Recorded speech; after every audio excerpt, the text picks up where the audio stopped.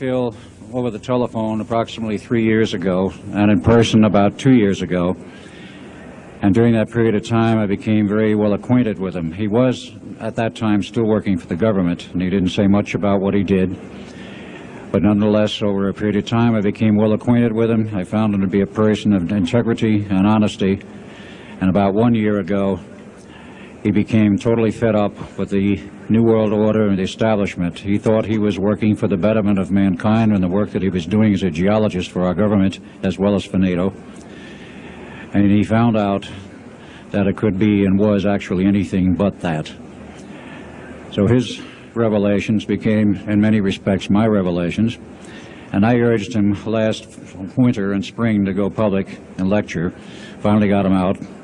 He's given over 30 lectures to date, all very successful, very interesting. In fact, so successful there have been 13 attempts on his life since the beginning of the year, and he's survived them all. All I can say is God must be protecting him because he has a message. So without further ado, I would like to introduce Mr. Phil Schneider and understand also everything is being recorded and the video and audio tapes will be available later. Please give a warm welcome to Phil Schneider.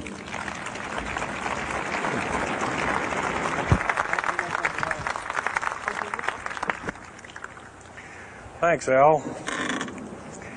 I guess uh, I can always start off by saying loose lips sink ships. Uh,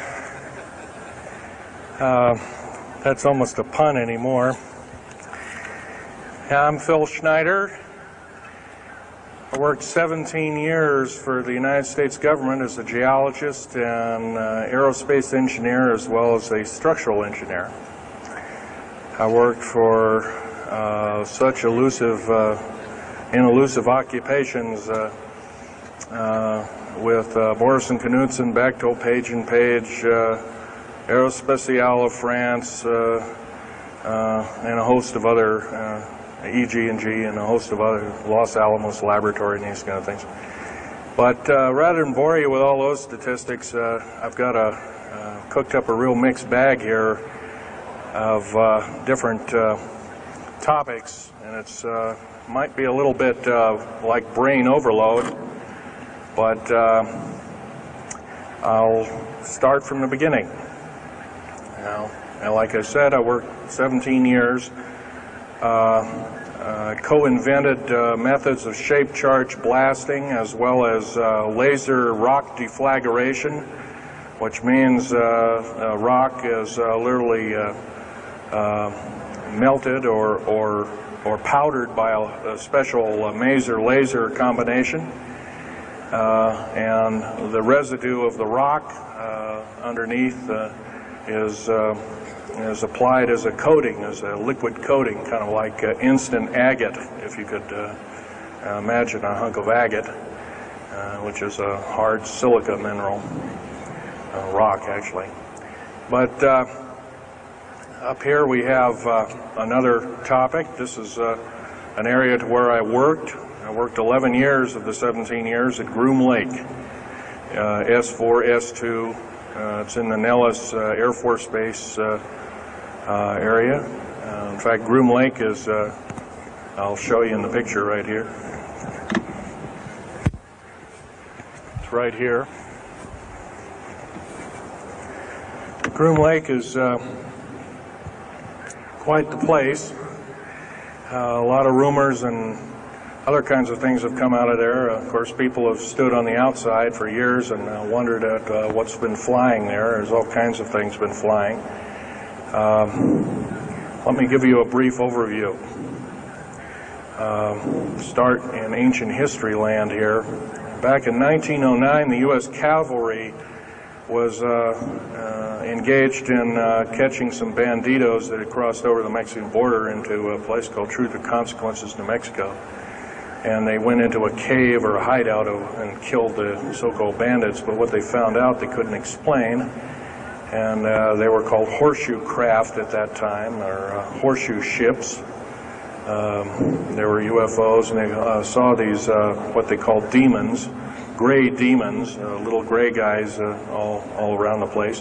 That was in 1909. now, in 1933, our government was actively engaged uh, with the Europeans, mostly the French and the English, in uh, special uh, researches uh, dealing with aerial phenomenon. And once again, the term flying saucer or flying disc didn't come about until uh, much later, uh, uh, supposedly right around the mid 1940s. Um, anyway, um, the whole thing here is that uh, also in 1946, I might want to add, um, uh, we were engaged in uh, atomic bomb testing and uh, this this kind of a like, and, um, and of course the area of Bikini Atoll. Uh, some of the pictures are over here on the uh, on the uh, white board, uh, are showing with the actual language of the both the U.S. Army and U.S. Navy archives. Anyway, these uh, flying ships were seen as early as 1945, 46. Uh, some of them were called Foo Fighters, and you name it. Um, they were fully known about, uh, maybe as early as 1935 or 36 by our U.S. Navy. And uh, there was a shallow underwater base at Bikini Island, and that was probably the one reason why um, a number of atomic bombs were exploded in that area rather than other areas which they could have been even more remote out in the South Pacific um, at Operation Crossroads. Well, um, anyway, this all led up to uh, uh, later on, about six, eight years later, uh, uh, 1954, uh, during the Eisenhower administration, uh, led to a uh, interesting treaty called the Greada 1954 Treaty. It was the Alien-Human Treaty. And you know, supposedly the aliens had come in and exchanged technology, and they'd uh, want to take an occasional human being and a few head of cows, and accurate books were supposedly to be kept, and uh, all this kind of stuff. And, um, and of course, eventually all that broke down, and uh, uh, aliens are notorious for being uh, liars, even greater liars than so-called, in quote, we humans are. Um, so alien treaties are often just not even the pieces of paper they're written on, they're just really kind of worthless. Anyway, my work as a geologist in building underground uh, military bases, some of which are over two miles underground. And uh, I think uh, when you listen to Al tonight, if you have a chance to listen to him, uh, uh, he will speak of. Uh, Al's actually been on some of the high speed monorail uh, subway cars, if you might want to call them, that link these bases together. Some of them are capable of uh, riding on a cushion of air about three quarters of an inch off a rail at a better part of Mach 2. And uh, he's actually been on one of these trains. I've only been in one of the tunnels and helped build some of the tunnels. Incidentally, I helped work on 13 deep underground military bases.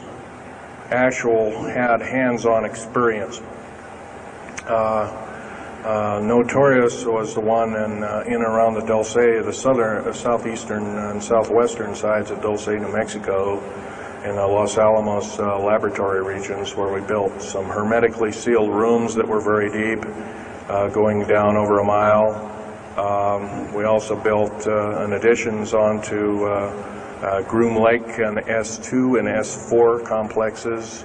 Um, there are a total of nine underground. Are called they're called DUMBs. Like you can learn a lot from this dummy, but uh, DUMB stands for Deep Underground Military Base, and uh, or a deep underground uh, DUM 2, for instance, is a submarine base, and I helped build a few of those too, which are uh, uh, off our continental shelves and then certain islands and uh, out in the Atlantic and the Pacific in strategic locations. Um, all this, I can hardly, in an hour's time, I can hardly squeeze all this in. So I'll, I'll be kind of rambling here if you just bear with me. The main topic of my discussion here is to link up basically what's going on with these deep underground military bases, what they're being used for, what is the present situation now being employed both by our federal government, which is slowly being phased out by the uh, United Nations government, as well as the New World, end quote, the New World Order, which is an even uh, uh, higher entity, and who these higher entities are taking their orders from and try and link up uh, basically uh, what's going on. A lot of us have been kept in the dark. Uh, we've been given, uh, maybe most recently over here, photographs of an alien at Roswell. I'll just very, make a very brief statement about that. The photographs cannot stand up to a computer grain analysis test and therefore are retouched or faked. Uh, they're not real. The real one, uh, the real photograph of the of the charred or dead alien that was, uh, or one of the several that were uh, autopsied, is uh, over here was given to me by a friend by the name of Skip Frombach of Seattle, and his father worked uh, as one of the principal doctors. He was from Germany um, at the time and. Um, uh, worked uh, on some of the autopsy uh, material, from what I understand, uh, along with other people. anyway, uh, don't you? You just can't believe everything, and that goes for me. You got to get out there and do your homework. Like I always say, you might don't put your spectacles on. You put your skepticals on when you listen to me. So if we can. If we can have a show of hands here, how many people have heard about uh, Roswell, New Mexico? Mm, very good, almost all. And how many people have heard about the uh, uh, black helicopters uh, and the uh, other kinds of flying saucers type uh, equipments out at Groom Lake and other places? Very good. Well, this obviously is a nice enlightened audience. Uh, most of you have probably seen what a black helicopter is, or maybe even gotten rare uh, glimpses of uh, an F-117A black jet, or stealth, as they're uh, often called, um, or a B-2 bomber, B-1 bomber, or some of these other uh, sophisticated aircraft that are now being touted as the new technology. Once again, where did we get this new technology? Well, obviously we've had a little hand in that. Uh, our little alien uh, so-called buddies, haha, uh, have uh, kind of exchanged things not without a great cost. Uh, the cost of which has been uh, a lot of people have disappeared. Some, and I'll blow this statistic by you. There's, according to current FBI and Defense Intelligence Agency and CIA statistics, 100,000 children and 1 million adults disappear every year, and these are not kidnappings or murders or rapes or suicides or anything, totally unaccounted for. And where are these people going to? Nobody knows. Maybe one of us uh, in this room or, or somebody has, uh, has uh, encountered on such an individual and lost a loved one or a friend or something, and that's unfortunate. Uh, my best friend, uh, Ron Lee Rummel, uh, several years ago, got himself murdered because we dared to put out in print, at that time I was still working for the government, and so was he, uh, we dared to put in print uh, the uh, so-called the Strategic Defense Initiative, or Star Wars, as part of the New World Order and takes its uh, actions. It was uh, originally written as a kind of a spoof or a joke. Uh, we had one of these alien grays dressed up and had New World Order insignia on, and of course that wasn't taken very nicely. And my friend got himself murdered. It was called a suicide, but now it's been uh, turned over to uh, special authorities who now acknowledge it was a homicide. Uh, other than that, um, I'd like to also mention something about my father. My father was a, a U-boat captain in, in, Hitler's Navy, and uh, he got captured and uh, taken over. Um, I didn't find this out until about two weeks before he died on his deathbed. He kind of told everybody in total shock. Um, I was one of them. Um, I, in fact, I didn't believe him. I thought he was kind of del- in delirium or something like that. And of course, other things have come up since. And so, um, anyway, he was uh, captured by the French, turned over to the Third Army, the U.S. Third Army, and then U.S. Third Army turned him over to the Navy. And he was a master machinist. Now, that's not a journeyman. A master means he's, uh, they can take a block of metal and make a gun or a watch or some other fine instrument. And uh, uh, he was a master machinist. He later became an MD doctor and uh, part of the aerospace medicine group of the United States Navy. Was instrumental in helping build the USS Nautilus and its uh, first uh, nuclear-powered uh, predecessor, the Enterprise, the first nuclear-powered aircraft carrier, and other other ships like it. He pioneered all the ways in uh, in building very small and miniature nuclear en- uh, engines, and uh, um, he even helped build, helped work later on in his life. He helped develop the infamous grid bed nuclear motor, which is now employed in some things that look like flying saucers that people claim are flying saucers. Yes, we are, we, in quote, the United States Air Force and other armed forces, are training other European forces to fly unidentified, or now identified, or, in quote, flying saucers. We've actually built, built several prototypes that are flying under uh, the, uh, under uh, uh, names of uh, uh, black craft. My position as a geologist and engineer got me to see a lot of things in the world. I've been in over 70 countries. Also worked for NATO. I carried a level three security clearance with a rhyolite factor. Rhyolite is a hardened factor. Only given out to a handful of civilians and maybe a couple of hundred military men worldwide. Um, I thought I was doing uh, the nation, United States, as well as the world a favor by, uh, I thought I was uh, uh, kind of keeping my end up. Uh, well, it didn't work out that way. I was to later find out that these underground bases are now being employed as strategic bases for, in case there is martial law in this country.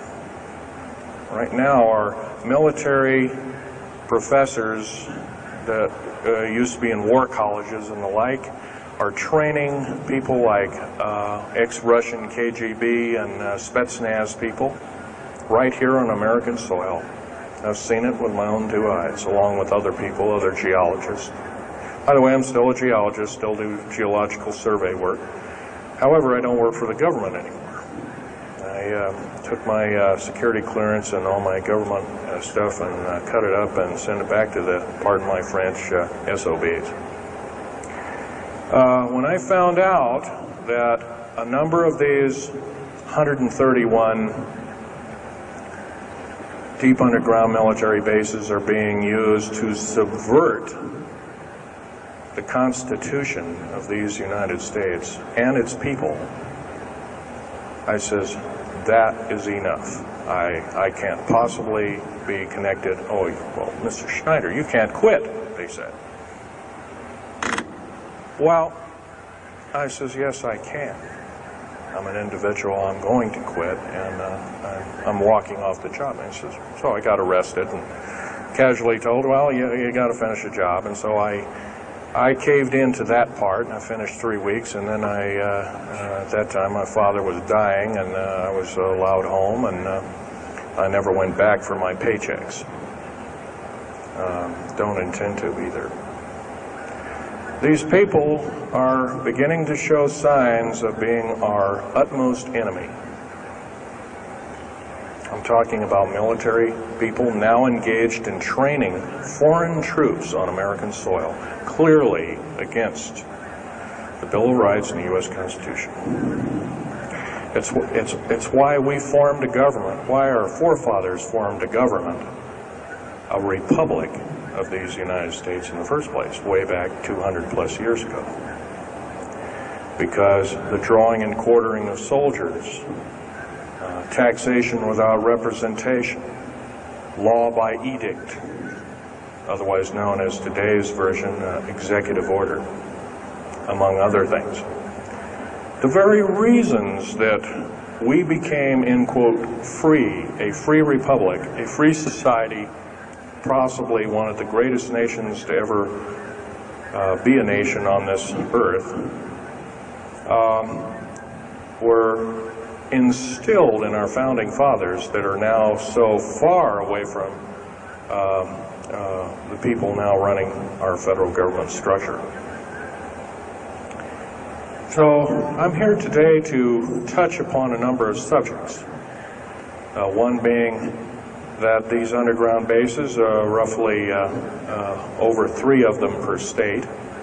There's now, instead of 12 prison camps, there's 39. That's almost one per state. Um, they're building two prison camps every seven, seven months. They're building two underground uh, military bases every year.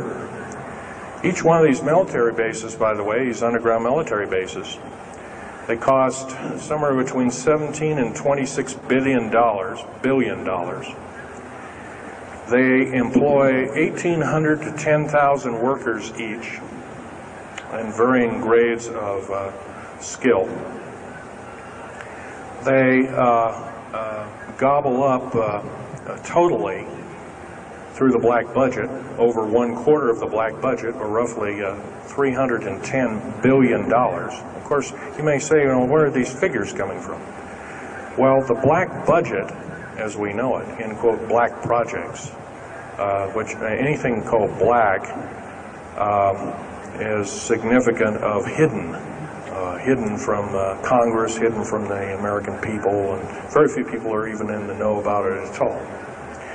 But black budget uh, per year garners over $500 billion a year. And it's uh, these kind of huge quantities and sums of monies are garnered through uh, CIA drug activity, National Security Agency uh, uh, clandestine operations, mostly in Panama and South America. Um, uh, now also engaged in Russia in, uh, in, uh, um, in bringing and refining strategic metals. By the way, you might want to ask, where's all these uh, kind of interesting uh, new metals coming from? Over here on the whiteboard, we have the new periodic table. It's got 140 elements. Now, in our high schools of today, I was in a high school about a week ago, I saw a new periodic table had 105 elements on it. Now, somewhere, we're not being told the truth. We're being lied to at every turn and every corner. We're considered less than morons, morons. Uh, so the government has uh, made itself an entity, an independent taxing body, an entity into itself, and does, isn't accountable to anybody not even the so-called New World Order. Uh, they, they just go ahead and do uh, everything willy-nilly as they please.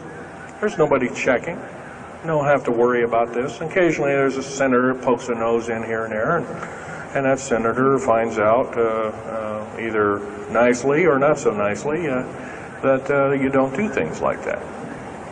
Now, um, if we're to gain a grip on our country, if we're to take our country back, we must first ask our public officials if they cannot tell us the truth, then uh, we will impeach them, or they will be impeached, or they'll be tried as traitors. This is pretty stiff language. Uh, already it's uh, slowly beginning to trickle out and to occur to a number of people that this may be the only way out. Also, our founding fathers, uh, George Washington, Patrick Henry, and a, a few of the other ones, uh, came up and said that, uh, you don't want to let the beast out of the box. And they were talking about a runaway government. You don't want to allow your government to become like England. At that time. And, uh, and so uh, they warned us about this very same kind of thing. First of all, the United States is not a democracy. It's not a republic anymore. It should be a republic. That's to the republic for which it stands, one nation under God. Why, you, why we can't even pray in the public schools anymore. We have to have a Supreme Court judge or group of them, plus uh, Janet Reno and company, among other things, uh, telling us uh, what to do. Uh, interpret for us as if we cannot read with our own two eyes and understand with our mind. Um, this, of course, is bad policy all the way around. And uh, uh, we, I guess I don't need to blow that by your ears. Okay, on another subject, I have a number of items up here at the table. Uh, one of which here is, uh, an, if I can show it, is a heavy hunk of rock indeed. It uh, has a weight of about uh, a little bit more than a pound, two and a half times the weight of uranium. It's not radioactive, can never be made radioactive. It's composed of, of earth, rare earth, clays, and powdered metals, as well as alien element, an alien element, uh, uh, mostly from crashed, retrieved uh, flying saucers and those the kind that have happenstance to crash in our deserts and backyards, so to speak. It's called mironite. Now, this is employed in every stealth aircraft, every black jet throughout the black budget. Also in the, uh, in the very small quantities in the skins of uh, black helicopters, mironite. Here's another thing. Here's a piece of uh, probably the purest titanium you'll ever hear or see.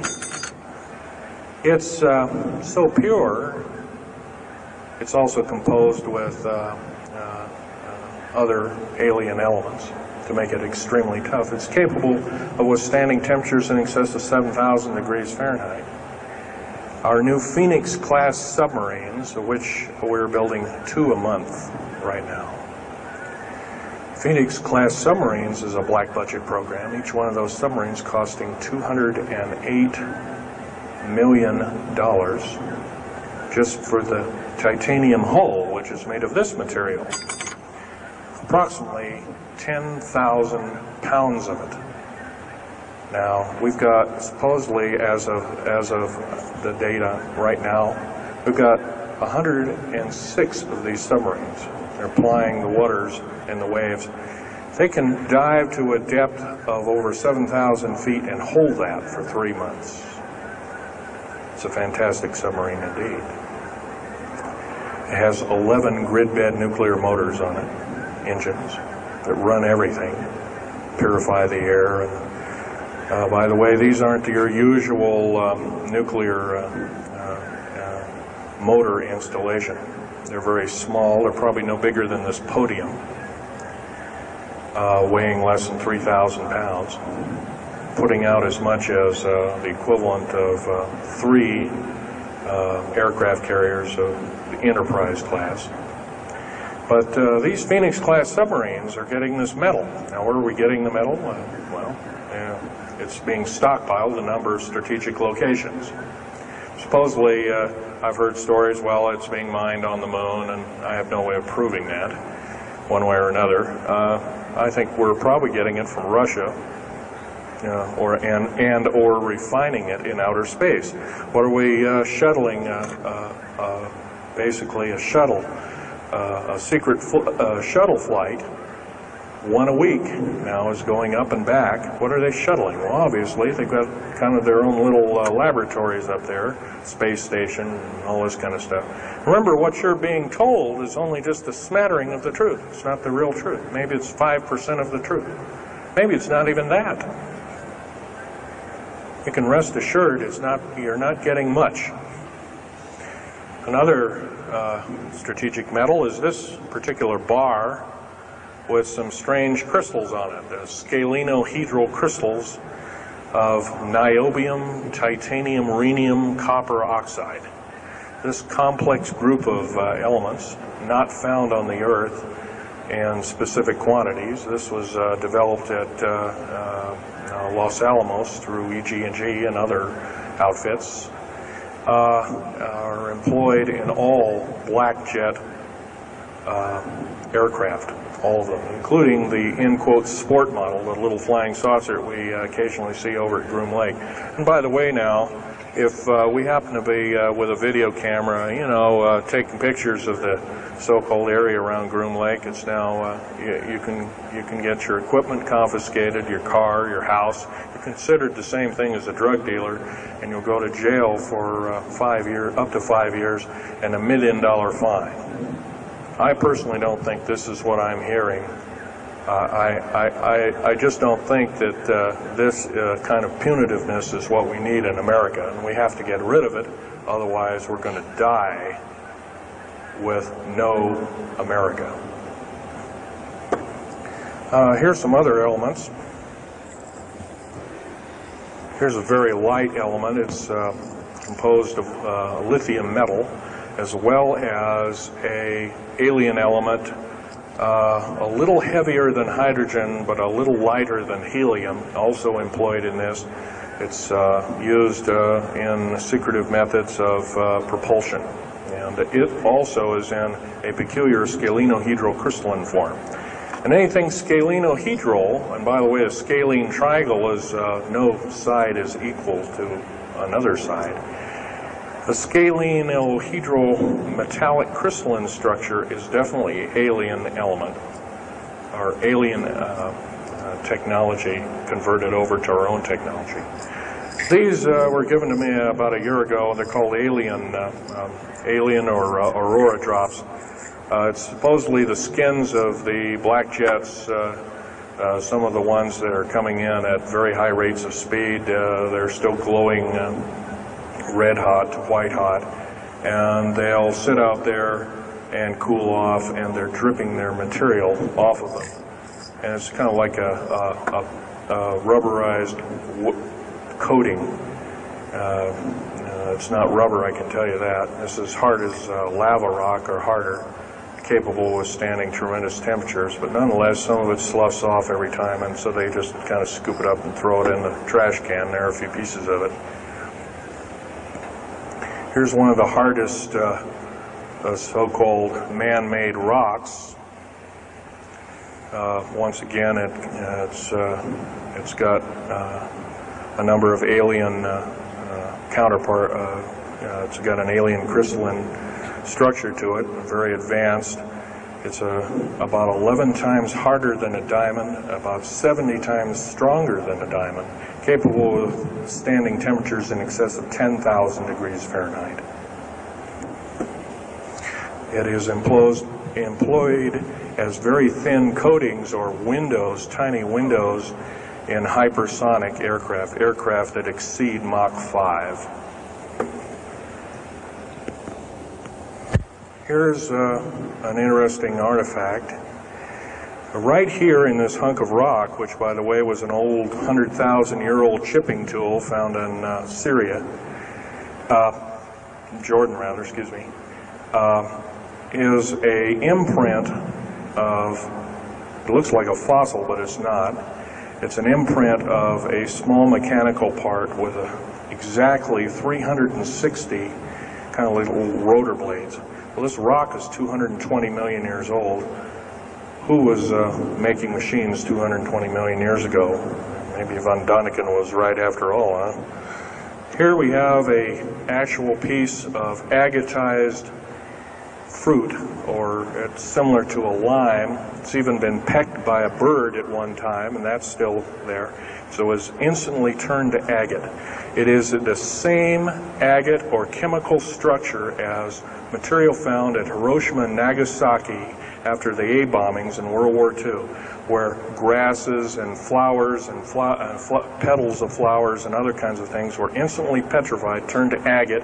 It is the same identical crystalline structure. However, this particular piece is about 20 million years old, and it's still got its original green coating, and it's uh, basically unchanged. Perfect condition. Uh, likewise, here's a garlic plant about uh, somewhere between uh, 20 and 35 million years of age, and once again, it's got that same pink agate coating. And here are uh, some pieces of the metal skin from the crash disk at Roswell. Uh, was given to me when I was 14 years old. My father was uh, visiting uh, one of his old friends in, in, uh, in uh, uh, the Navy archives, as well as he was in the uh, Royal Navy in England. And I, as a 14-year-old boy, I says, "Gee, Dad, can I have? Can I ask Johnny something?" Oh, go ahead, ask him. Get anything you can from him, you know, that kind of thing. I says, "Well, gee, uh, Johnny, well, do you think I can have a piece of this uh, metal?" "Oh, no, no, you can't have that." And I says, "Oh, give it to the kid. What the heck? He won't have it very long anyway." Well, I've had it all this time. Kind of a unique thing. Uh, they were able to break the skin of that craft, by the way, by dropping it into a bath of liquid nitrogen, hitting it with a mechanical or hydraulic hammer, and it shattered into little bits. And it was later analyzed and, uh, and adapted for our own technology. All these artifacts are fine, but once again, the main part of this talk is where's it all leading to? We get very little spin-off to uh, where any of this is leading to. Occasionally we'll get a new computer or maybe a, a quartz watch or, or some uh, little trinket uh, like uh, uh, kind of like giving the Indians beads a couple of hundred years ago. Well, we're getting these little spin-offs. But the black budget still rolls on, garnering up over a, a trillion dollars every two years. It's somewhere between 1.023 trillion and 1.31 trillion dollars every two years. And every every year it goes by and the black budget is unchecked, un, un, unaccounted for, it's just subverting our country. That's number one. Number two is that these underground military, first of all, if there was something like a nuclear war or or uh, uh, there was a definite enemy out there where uh, we were going to be under attack, uh, like from China or someplace like that, I could see maybe a, a, a couple of dozen underground bases uh, for a government, and uh, uh, so it could theoretically come, come uh, rise up like the phoenix out of the ashes. Well, not 131 of these, and uh, if you were going to so-called round people up and put them in prison camps, what a better prison camp than underground, where uh, nobody knows where it is anyway.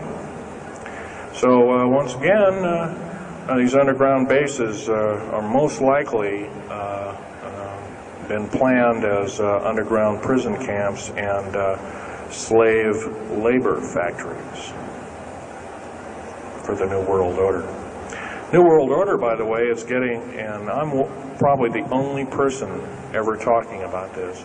The New World Order is taking, and the United Nations is taking its uh, orders from, uh, believe it or not, uh, these more powerful outer space alien uh, entities. Uh, we might call them the large grays or the small grays. Uh, sinister forces indeed. And you might want to say, well, gee, how come we don't see more of this kind of thing? Well, you can just imagine. If you're only being told uh, 5% or less of the truth, uh, that isn't very much to go on. That's one thing. Another thing is uh, you don't find very many people coming up here and, and letting you have hands-on experience. I'm going to try and do this to you. However, I do ask you to go out and do your homework and keep doing it. Don't necessarily believe in what I'm saying, but get out there and and talk to people. Whether it's just a couple of neighbors or friends or, or something, get out there and talk. Because one will tell two and two will tell four, and then pretty soon you have a whole room full of people that are in the know. And then from there, uh, wonders can work. Other than that, as far as changing the black budget and uh, these clandestine programs, public opinion is only going to be that, going to do that, and it's going to take millions of us. But we have to be informed. And to do that, we have to be doing what we're doing now, gathering and talking. And of course, most of us are adults and can weed out fact from fiction. most of us are responsible adults and know the difference between fact and fiction and how to use it or how to abuse it. And so we therefore have to continue to keep studying and keep talking. If there's just me out there, and believe it or not, there aren't very many people like myself out there talking. Uh, I've given over 30 talks in the United States, Canada, Japan, um, uh, went over to England, kind of, well, into Japan, kind of illegal. Came back the same weekend. Uh, they they flew me in and out, but gave a talk to a number of their execs, and they were very interested indeed. Now, if I was, uh, if this was all a bunch of poppycock and hooey and poo poo, uh, I might, uh, I wouldn't be listened to, uh, be be given an audience by these people, but evidently I have but 13 attempts on my life since the first of this year. I, there's a, a number of you ladies present, so I won't gore you out, but uh, Al has seen uh, some of the wounds, and there's a few other people that have been to a few of my other lectures, and they can attest that I have been shot.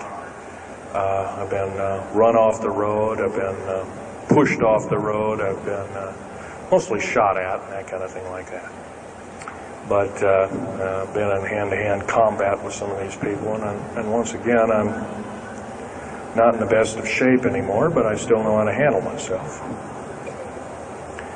And uh, I'm just about ready to wrap things up here, uh, but just basically wanted to give you an overview of uh, of uh, uh, what's happening, and. Uh, if we have any questions, we can start asking a few questions. Okay, here's a gentleman way over here. Would you please speak up loud?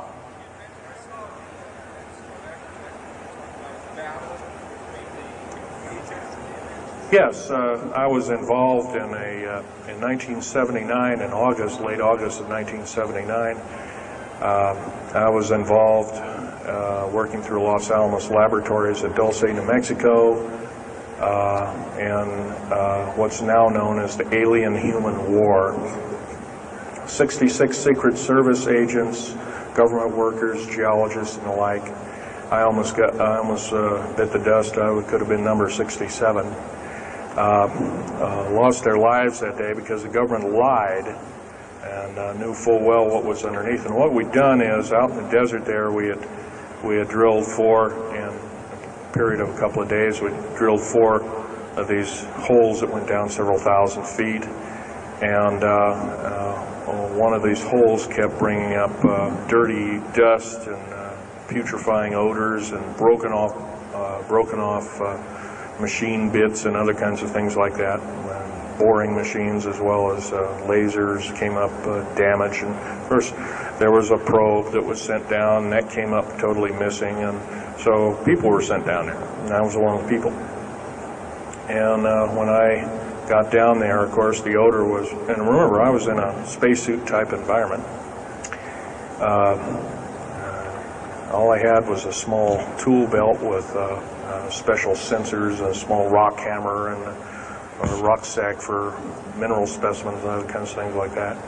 And I had my little pistol. And uh, being an engineer, didn't have time to carry a big hunk of pistol like most of these Green Berets carry, stuff like that, black berets.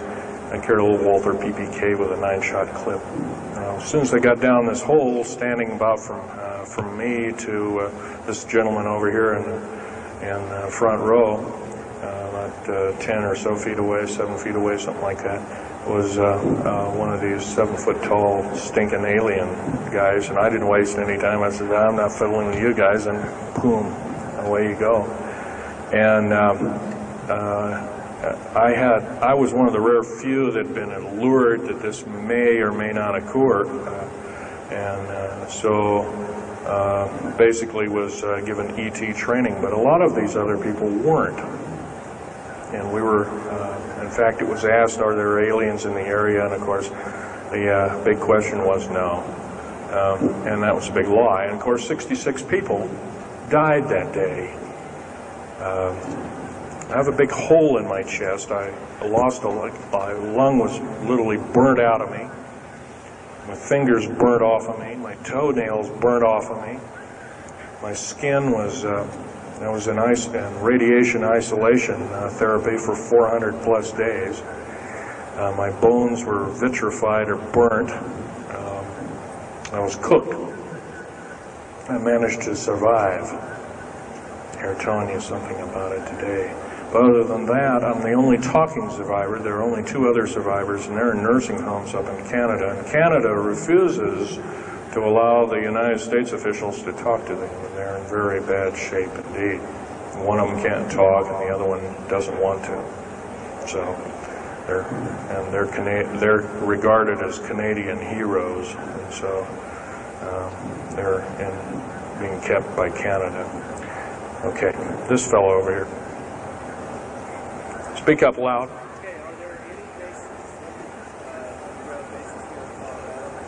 Actually, yes, there's uh, several. In fact, uh, as I was coming uh, to this uh, talk, uh, I uh, was supposed to be here by plane, but there was a subsequent foul-up. Um, anyway, I drove all the way and did it in one day. But as I was coming over over up near Cheyenne, there I noticed the military, uh, Air Force, and the Army are building a so-called new, in quote, boot camp, prison camp, right up in Cheyenne, brand new. And I was here three months ago, that wasn't there. So it's something brand new. In Colorado, yes, there's about four underground uh, bases, one being at Denver International Air Base. Um, I call it Air Base, Spaceport, or whatever you want to call it. Denver International Airport. No wonder your uh, luggage uh, uh, uh, gets lost. There are eight levels underneath the airport uh, tarmac there, end quote tarmac or cement mac. And so those bags could be there for a damn long time. Why, just imagine if this was instantly turned to agate uh, 30 or more million years ago, those bags could very well be the same way. So yeah, there's uh, there's a number of them, and uh, I wish I had a map with me. In fact, uh, in subsequent talks, I'll have a map, uh, uh, which will be put on the on the overhead. In fact, my next talk, I plan to have just that. Uh, I had planned to bring a map here and had all the latitudes and longitudes of all the bases, and that, I can't do that. That would be a nice jail sentence for me, so I, I didn't bring it. So, but other than that, I'll have that all researched for you. Uh, yes, this this woman.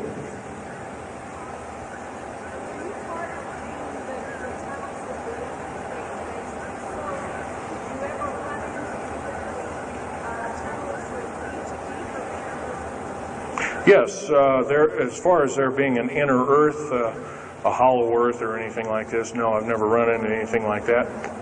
Uh, however, uh, Al Bielek uh, has been on uh, these uh, tunnel trains at better part of Mach 2, uh, going from coast to coast in an hour and a half, uh, faster than any jet plane that we got, including uh, the SST, uh, uh, or thereabouts, the same uh, rapid speed. But uh, I helped build a lot of these tunnels, and all of the underground, mount, uh, underground mountain or military bases are connected, all of them, all 131 of them. They're connected both by road, not a big freeway under there, but it's uh, at least a two to a four lane road, uh, rather narrow lanes, but they're th- there, and there are also uh, high speed uh, uh, magneto leviton train tunnels. Yes, this lady over here. Stand up and speak up, please.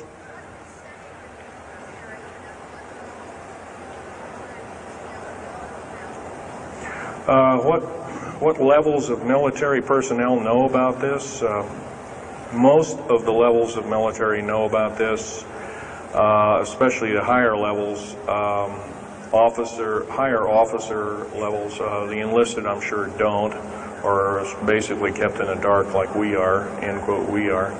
So, uh, yeah. Uh, uh, this fellow right here with the hat, hat on. Well, there's 131 of them in the, uh, uh, in the United States, uh, 127 of them in the lower 48. Um, There's some in Canada, I'm not counting those, and some in northern Mexico, I'm not counting those either. Um, They average about four and a quarter cubic miles hollowed out underground, an average depth of 5,700 feet underground. Uh, Average cost 17 to 31 billion dollars each. Um, They employ anywhere from 1,800 to 10,000 people. Um, Then there's some very large ones now being built in um, Sweden, one of which is repudiated to be 30 cubic miles. It'll take five years to build that one at a cost of about $2 trillion. And that's all being supplied by the United Nations. Yes. Anybody over here? No. This uh, gentleman. Speak up, please. Okay, uh, you want to know exact locations of all these? Well, for where all of your Army, Marine Corps, Navy, and Air Force bases are, they're uh, with all the present, not the ones closed down. And by the way, the closed down bases are now being used uh, for gasoline storage and uh, equipment storage and these kind of things. So they're not really uh, closed down yet. Boot camps, end quote, boot camps, and all this kind of stuff. Uh, so-called prisoner camps and these kind of things. Right now, our police, for instance, are uh, training, uh, are being trained by uh, the Air Force and the Army intelligence in uh, in martial law research, as they call it. How dare they call that that by that name? So where these are, they're where every one of these strategic bases are now in Colorado's uh, in, in around Denver there's three of them and they're fairly small some of these bases are only maybe two to three thousand feet uh, in depth uh, some of them are uh, were built a long time ago back oh, 35 40 years ago and they're only maybe 500 feet um, and they're mostly for equipment storage um, Denver, and then there's uh, Fort Collins. Uh, There's also uh, Colorado Springs area has a number of them. By the way, Colorado Springs is kind of a famous area. Nikola Tesla's laboratories were in Colorado Springs, and uh, uh, need I say more? I'll leave that up to uh, Al Bielek. Uh, As far as uh, Nellis Air Force Base, there's nine uh, underground mountain bases in Nellis Air Force Base. That's in Nevada. It's uh, north of Las Vegas. Um, There's going to be a a UFO show and conference in Mesquite here later on this month, and that's up very close to, in quote, Area 51. That whole area, by the way, the state of Nevada is 81% uh, uh, in quote, uh, managed or owned by the federal government. The land is either restricted or run by the federal government. That's why they have, there's uh, groups uh, rising as we speak, dealing with the problem very vociferously. And senators are now getting involved. So evidently, uh, waking up is occurring. Yes, this gentleman over here. Speak up, please.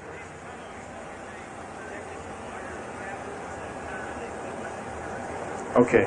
Uh, Yes, they are. Uh, The gentleman asked, are these tunnels connected to large caverns? Yes, these large bases are basically like this, uh, like this uh, uh, Coliseum. Everything's underground. Everything's a city underground.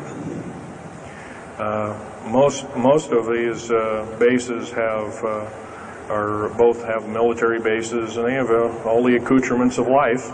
Remember, each one of these costs quite a bundle of dough, and, and uh, some of it in our tax money, but most of it in clandestine uh, uh, approaches, and that's definitely undermining the country. Yes.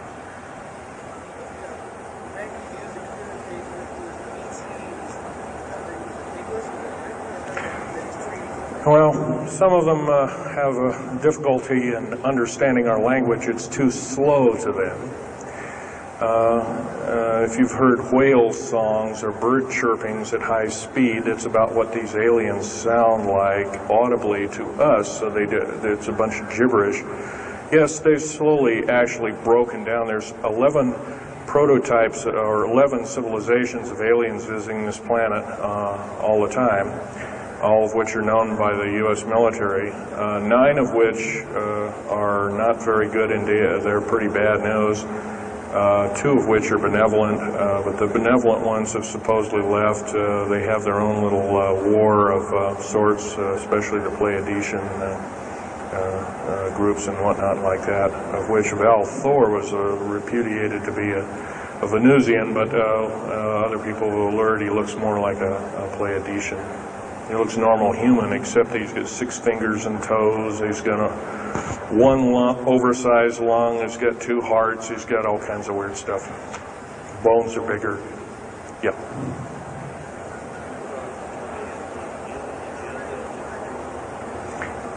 Uh, the man asked, Do I tie in the alien agenda to the New World Order? Yes, sir, 100%. Uh, I can elaborate briefly. Uh, uh, the New World Order right now basically is dismantling countries, um, uh, governments, uh, telling governments not to war with each other anymore, basically. So that uh, looks good on the outside. They're taking their orders directly from the aliens who've got their own timetable. They want the one world order because they want the planet for themselves. Course, you've often heard of the term Global 2000, and that's a supposed sinister plot, or has been a group of sinister plots to produce uh, uh, biological weaponry to uh, uh, reduce or thin out the so-called ethnic cleanse uh, the population of the planet by five-sixths, or uh, roughly five of six billion people, enslaving the rest uh, uh, to work willy-nilly with the so-called uh, people of the New World Order. Now, the, another peculiar thing is the alien agenda is not really well believed nor understood by a lot of these one-worlders. They don't believe it. They think they've been singled out for uh, their own end of glory, and what they don't know is they're just another human being, and uh, according to the uh, negative or bad aliens, uh, they're just another, uh, uh, we're considered bags of food to them. They don't uh, eat us uh, like a, we think of a cannibal eating uh, a hunk of meat, but they use our uh, glandular secretions as uh, part of their food base, their blood and their, uh, our glandular secretions like adrenochrome and other kinds of things like this.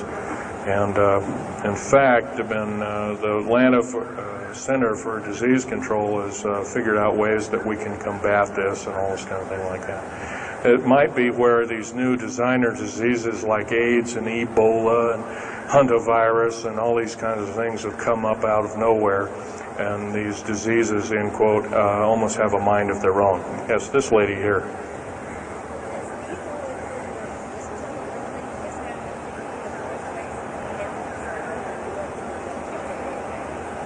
Okay, lady asked, uh, is the tunnel building uh, uh, having a, uh, an effect with uh, earthquakes? Uh, yes, it could very easily be, although, uh, got to remember, a lot of these underground um, bases are, are constantly being repaired, and so a lot of people have to be hired.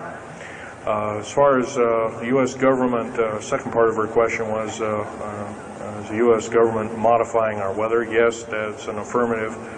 Um, And we have, uh, the U.S. government's been working with the Russians for at least since 1972 and maybe as early as 1966 on weather modification. And it's a well-known fact, and it's well employed. And by the way, uh, they can uh, literally weather modify a hurricane or a tornado out of existence. And the reason they don't do it is uh, pretty obvious. Yeah, right. Or they could actually uh, send a plane inside of a hurricane, for instance, that would uh, blow off an atmospheric bomb or a shockwave bomb in the eye of the thing, it would completely dissipate. Well, they don't do this, of course, and uh, there's probably other reasons for that. See which way it goes, or what kind of havoc, and how we can study the havoc and we go from there.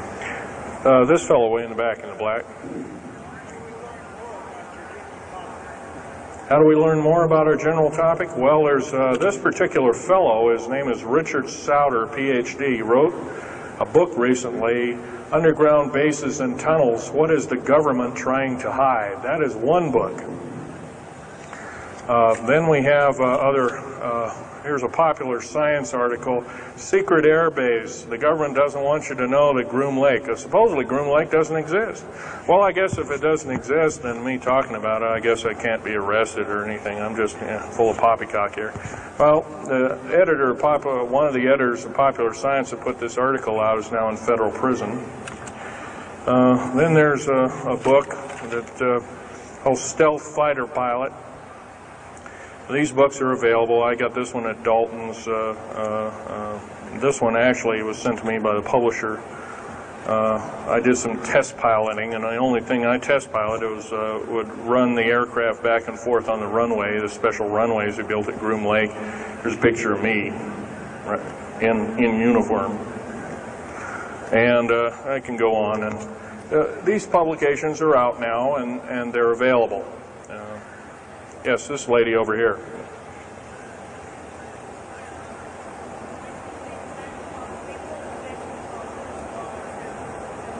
I can't hear you. What?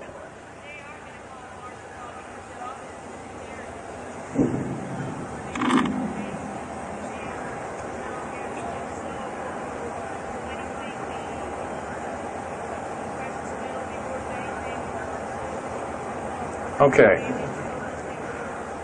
Um, okay, that's uh, kind of a mixed bag question there. Uh, she asks, uh, um, with martial law being called, will uh, precious metals and all these kinds of things. First of all, hoarding anything will be outlawed. Uh, if you hoard food, have a radio, any way of communicating, stash gasoline, these kind of things, you will just be rounded up and that'll be the end of you. Um, martial law is martial law. Martial law is dictatorship of the worst form, or one of the worst forms. And uh, uh, her other part of the question, if I if I got it right, was uh, uh, is it uh, when's the alien takeover? Well, the alien takeover right now is, and probably will be for some probably the next 10, 20, maybe 30, 40 years, will be basically in the in in the background. The idea is to get the uh, the, the one world beast-like government order in place and to thin out the population of the planet. And then, of course, then all heck will break loose from then on. And uh, whether it is, uh, I, don't often mix Bible and talk, but uh, uh, some people have alerted, well, this is already mentioned in the Bible, blah, blah, blah, and all this kind of stuff. Well, that may be, but all I can tell you is, is uh, I've been face to face uh, with one of these sinister characters, or a couple of them, uh, saying the least, and uh, um, uh, most people would uh, just the shock of them seeing such a thing would cause them to not be in very healthy mode, frame of mind, as physical as well as mental. This man here in the blue coat.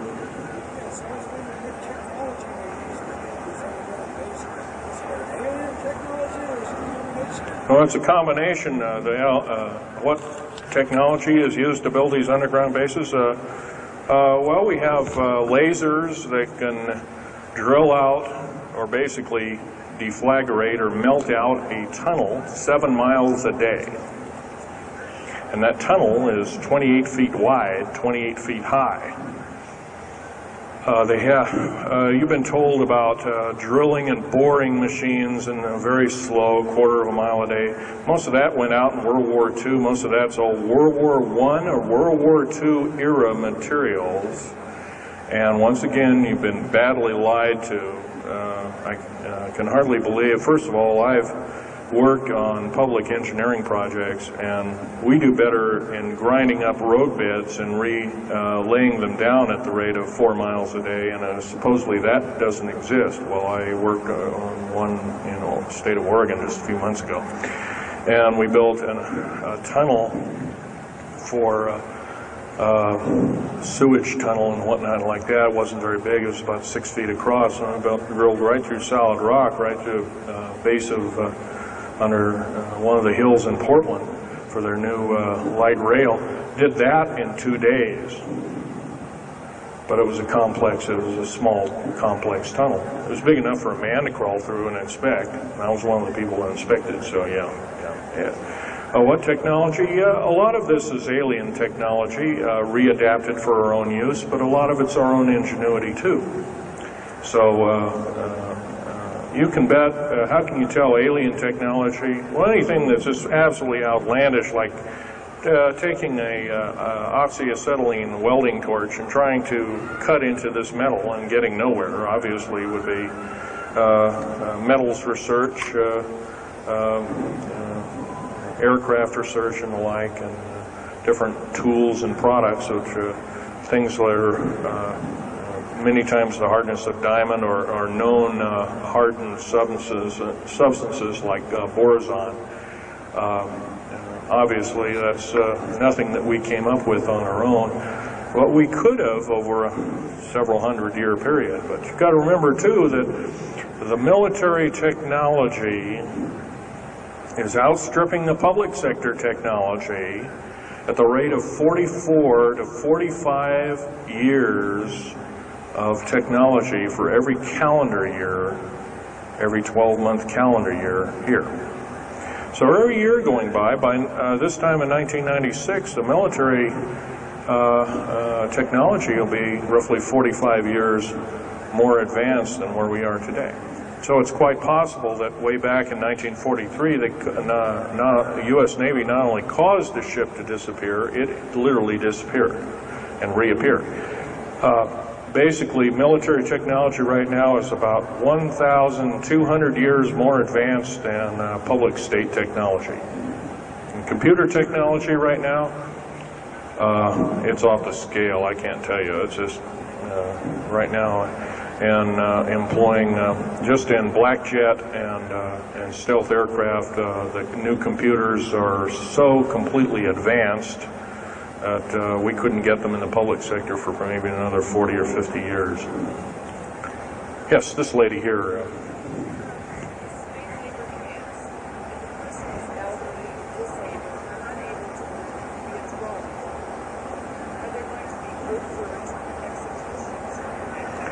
Well, the lady asked with the slave labor camps, are the old, the infirm, the handicapped, are they going to uh, be executed and exe- will there be executions? You can bet your bottom dollar there actually will be these things.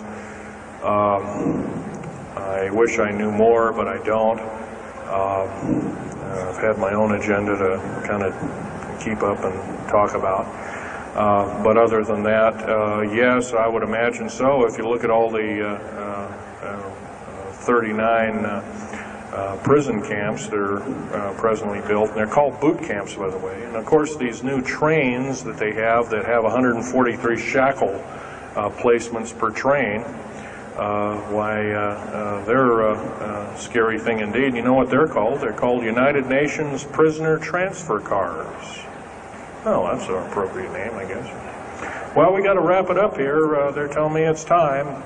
I'll take one more question. This lady over here.